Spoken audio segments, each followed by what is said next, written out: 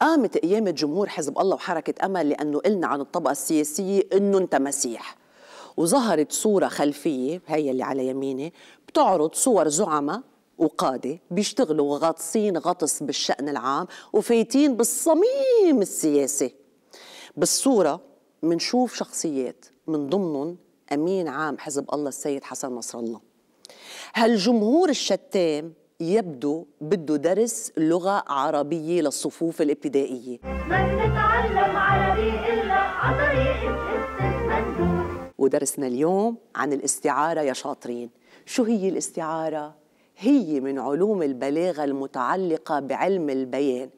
أحد فروع علم البلاغة واللي عرفها كتير من الأدباء وكل أقوالهم فيما يتعلق فيها تتلخص في أن استعمال كلمة أو معنى لغير ما وضعت به أو جاءت له لوجود شبه بين الكلمتين. قولي لي يا بنت كلمة بتبتدي بحرف الاي إيه إيه إيه. إيه. عندكم دوفوار لبكرة.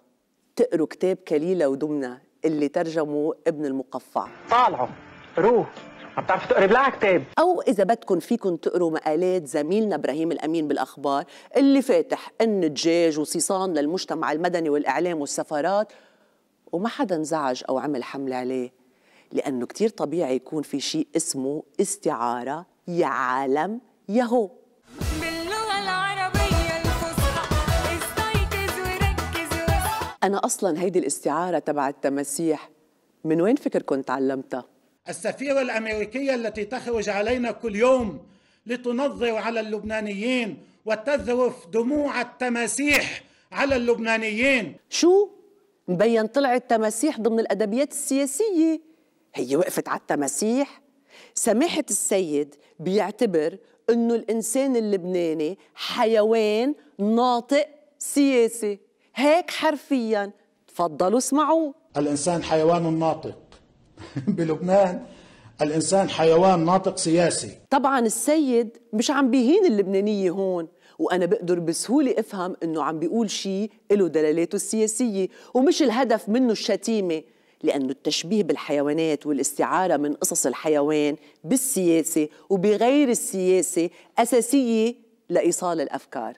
طرقوا الضرب هالحمار بيشتغل مثل الجحش بيفلح مثل الفدان بيأكل مثل الغول صاير قد الفيل مصحاني مثل البقرة قاعد بالزاوية مثل الصوص مثل الأمل المفروكة. والحالة اللي واصلت لها الطبقة السياسية اللبنانية من تطنيش وتتنيح ما في كلمة بتزبط معها غير كلمة تمسحة وتماسيح. بعدين خير إن شاء الله. إذا الواحد شبه زعمائكم السياسيين بالأسود ما حدا بيرف له جفن. ابدا. ما بصير معكم أي شيء. لا وبقلب نشيدنا الوطني منقول عن حالنا حيوانات بغابة. غاب متى ساورتنا الفتن. هيدي ما استفزت حدا؟ لأنه صفات الأسد بتعجب الكل ولو إنه هو حيوان مفترس بس التمساح لأنه متمسح ومع إنه مفترس وعضته أقوى من عضة الأسد.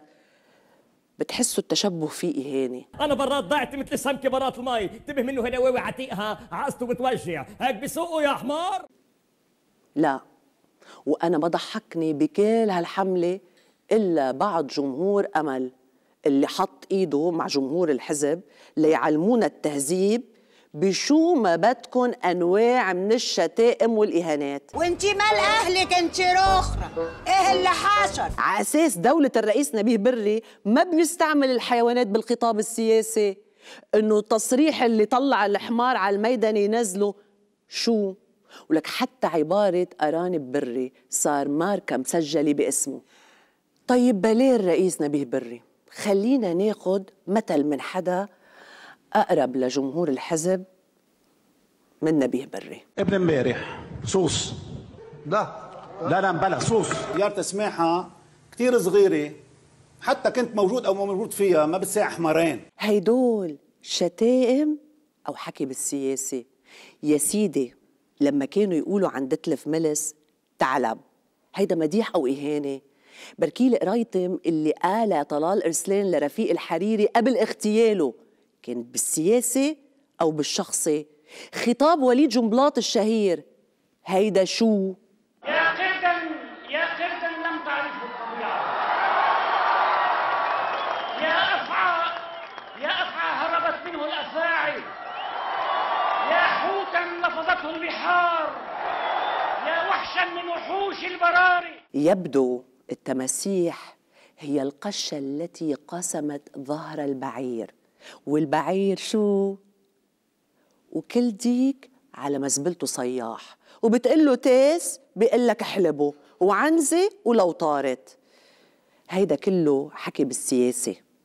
بس حزب الله وجمهوره صايرين مثل فيل علقان بغرفة. آه معقول هلأ يجنوا على قصة الفيل. ولك حتى الفيل طار شوي معكم بهالزمانات. بس ما طار فيل وارتفع إلا كما طار وقع.